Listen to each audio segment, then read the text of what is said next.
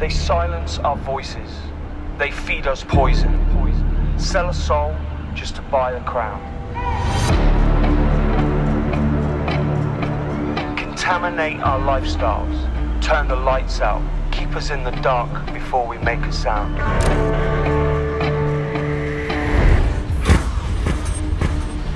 We are the ammunition. Load us up, fire away. I'm not asking for permission to keep on marching through the rain.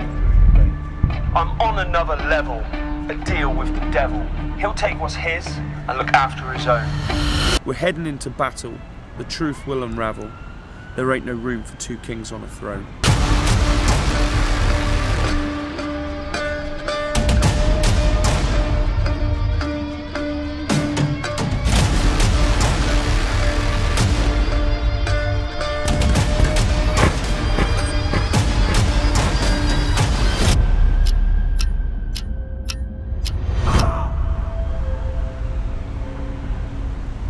People always ask me how you go from a career in fighting to uh, a career in music.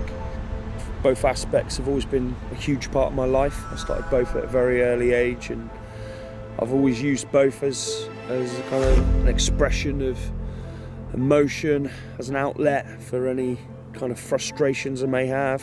They both share a sense of performing. I'm certainly never blinded by any lights stepping into the cage, just as I'm not on a, on a stage. I've always enjoyed uh, performing in front of people. I've always enjoyed being on a stage. For 10 years of my life, I was actively competing. I was training other fighters, uh, heavily involved in the fight game, and, and music was always there, but it was uh, kind of in the back back seat a little bit. When I stopped competing professionally, I had a bit of an empty space in my life that needed to be filled. That's when I started spending more time writing music. I needed like an outlet. I needed a release. I started writing more and more songs and it just snowballed from there really. And now that's what I do. I get to travel the world, playing music, uh, doing what I love, and the fighting stuff is taking a back seat. Inspiration can come from any number of places uh, whether I'm at home in my, my studio, anywhere. I can be walking down the street, driving in a car, I'll come up with ideas and end up pulling over and singing it into a voice memo or you know one of my most popular songs, My Parade. I actually wrote the chorus to that on a, a plane coming back from Italy. I just played at a guitar show in Milan, singing into my phone. trying to not annoy the other passengers too much. A lot of my songs are about personal experience, and sometimes they're about experiences that uh, other people have been through, or I've even written songs about things that I've read about. I'm always just jotting down any ideas when I can, and things tend to, to fall in place.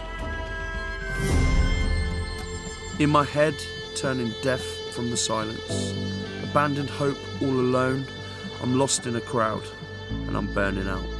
Paranoid, fill the void, semi conscious. One little change, feel insane, no reason why. My dream should die.